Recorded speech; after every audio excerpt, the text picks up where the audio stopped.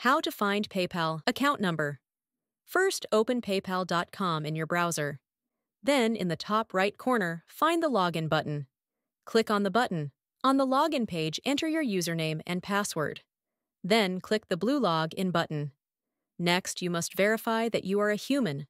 Then you must pass two-factor authentication. You can use text message, email, or PayPal mobile app to verify. When you receive the six-digit code, type it in. After you log in on the dashboard of your PayPal account, you can see your balances. Find Settings button in the top right corner. Click on the button. On your account page, scroll down and find PayPal Direct Deposit section. There, click on the View Your Direct Deposit info link. On the following page, you can see your routing number and account number. The account number is hidden. Click on the eye button to reveal your account number.